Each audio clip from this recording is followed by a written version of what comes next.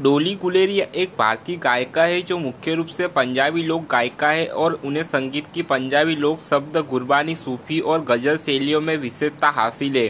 वह प्रोफेसर जोगिंदर सिंह और प्रसिद्ध लोक गायिका सुरिंदर कौर की बेटी है, जिन्हें the nightingale of Punjab के नाम से जाना जाता है। गुलेरिया एक मेडिकल छात्रा होने के नाते डॉक्टर बनने की इच्छा रखते थे। उन्नीस सौ सितर में उन्होंने अनवी professor colonel S S Guleria की शादी की। उनकी एक बेटी सुनेनी शर्मा और दो बेटे दिलप्रीत सिंह और अमनप्रीत सिंह है।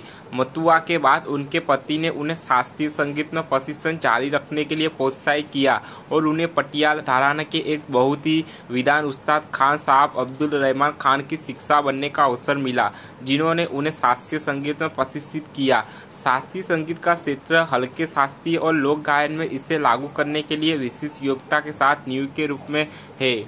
बचपन से ही भक्ति की ओर रुझान रखते हुए अपने उस्ताद के कुशल मार्गदर्शन में उन्होंने रागों में गुरबानी में अपना एकल पहला एल्बम जारी करने का फैसला किया और शाम के पाठ में अपने मूल रंगों में रहसा साहिबा गया।